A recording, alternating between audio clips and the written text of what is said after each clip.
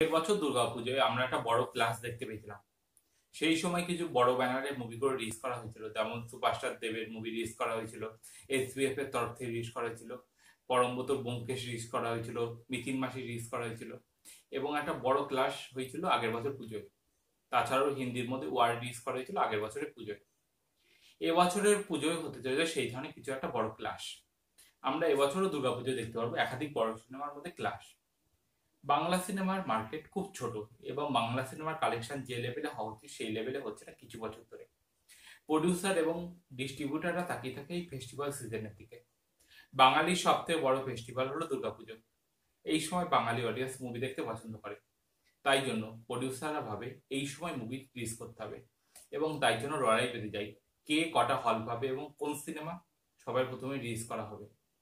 এবছরও সেরকম দৌড়ে আছে সাত সাতখানা সিনেমা। এবার আসা যাক সিনেমার নামগুলো কি। এবার আসতে চলেছে এসবিএফ এর তরফ থেকে কাকাবাবুর প্রত্যাবর্তন। এটা কাকাবাবু সিরিজের ঠাস সিনেমা এই মুভিটা ডাইরেক্ট করেছে সৃজিত মুখার্জি।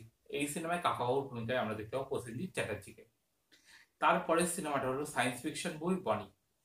এই মুভিটা ডাইরেক্ট করেছে পরমব্রত চ্যাটার্জি। তারপরের সিনেমা হলো অর্ধাঙ্গিনী। এই মুভিটা ডাইরেক্ট করেছে কৌশিক গাঙ্গুলি। তারপরের সিনেমা হলো বেড়া শুরু যেটা উইন্ডোজের তরফ থেকে আসছে।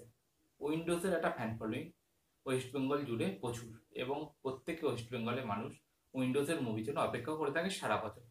তার উপর সৌমিত্র চট্টোপাধ্যায়ের মুভি সবাই এই মুভিটা দেখার জন্য মুখিয়ে আছে। এই মুভিটা আশা করা যায় ভালো ব্যবসা করবে। তারপরে যে মুভিটা রিলিজ করা হবে ডেভ এন্টারটেনমেন্ট ভেঞ্চারের তরফে, সেটা হলো টনিক অথবা কবুচন্দ্র রাজা কবুচন্দ্র মন্ত্রী। ক্যামেলিয়ার তরফ থেকে রিলিজ করা হবে মহাকুমারী। এই মুভিটা ডাইরেক্ট করেছে অরিন্দম শীল তারপরে কথাবার্তা চলছে, দুর্গা রহস্য, এই মুভিটাও রিলিজ হওয়ার।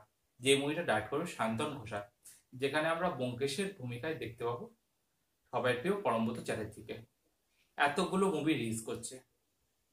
তার উপর বলিউডে সূর্যবংশীও রিলিজ করার কথা আছে দিওয়ালিতে।